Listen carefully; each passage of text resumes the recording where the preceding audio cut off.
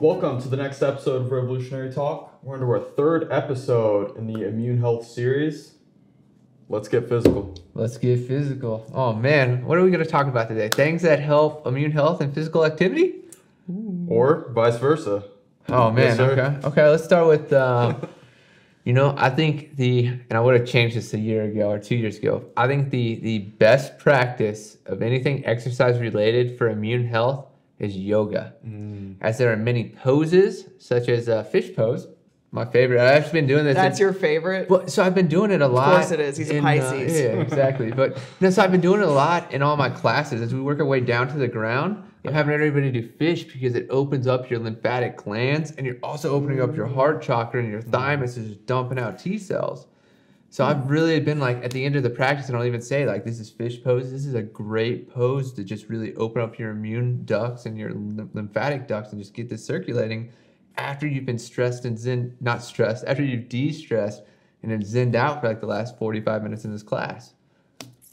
wow. Boom. That's, that's a lot more science than I thought Yeah. you were bring it up. That's good stuff. I A didn't, lot more science than I've ever heard in yoga class. Yeah, but, but it- that's It's kind of like that, that model, like do like your it. core Yeah. lifts and your workout early, and then circulate the blood through with the higher reps towards the end to get all those, you know, testosterone or all your hormones circulating through for the rest of the workout. yeah, makes sense. So I took that model and took it to yoga, but overall, I think yoga is like the best physical exercise for you know immune health. Which, by the way, if you're ever in KC, Kansas City, and want to take yoga, Yeah. this guy right here. Chris mm-hmm. Douglas Yoga Academy hasn't started yet. There you go, Big Fish KC. yeah. What, so what do what do you guys think are like good you know exercise? I know we all work out way different, so and I That's know true. Yeah, that's pretty interesting. I mean, I know. I mean, you work out with weights too, and you. I mean, you work out with weights. I do weights, but I- it's been a lot less since uh-huh. yoga. Yeah, I mean, I'm always just drawn back to the weight room. I don't know what it is. I mean, I kind of grew up in that world, so. But lately, it has changed a little bit, though. I mean, I'm not like 100% meathead like it used to be. yeah, You know, I you. um, I've incorporated some more like full body, like uh, with like cardio in mind too. Like I like to get my cardio in like while moving weights. yeah. So like superset, trisets, like things to really get your blood flowing, get um, That's what I get my heart going. from. So I gotta wait. I'm trying to get back into that because Yeah. it's like now I'm working out as like de-stressing rather than cardiovascular health, and then I'm out filming and doing stuff, and I'm like, crap, I need my cardio back. So I'm trying to work back to that, you know, balance of Yeah. those. Yeah. And you do you do a lot of cardio stuff.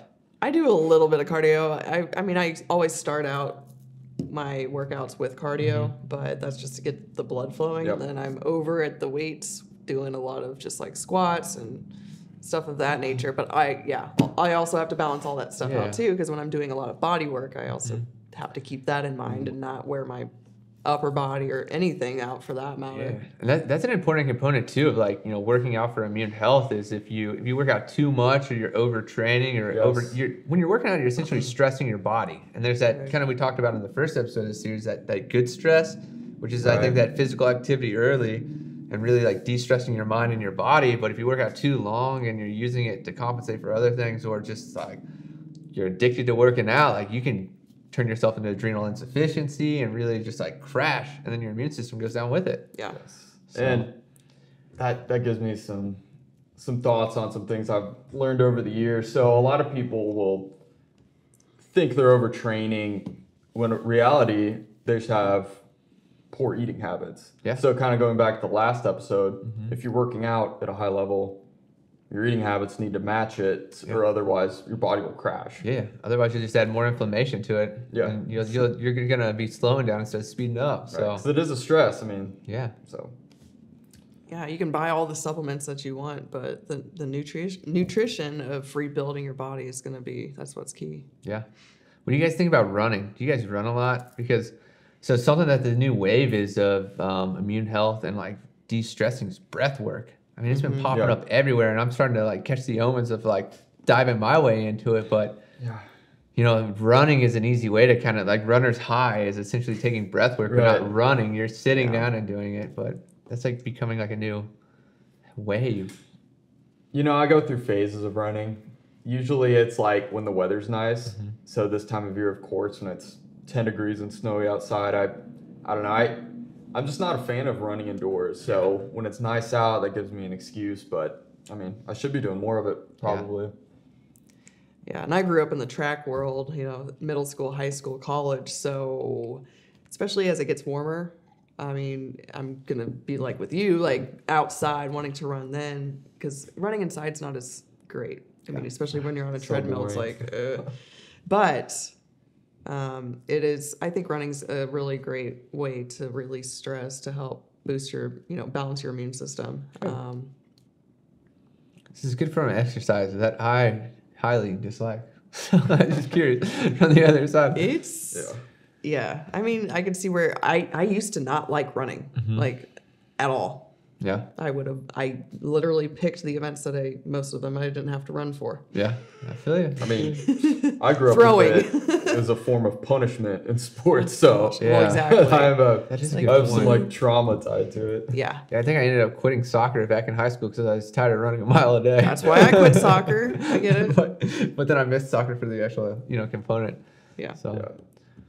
So what about if you're not um, you're not very active, especially this time of year? Like we mentioned, it's cold. So if you do like to run outside, you might have a hard time with that. And if you're not getting physical enough, what can that lead to?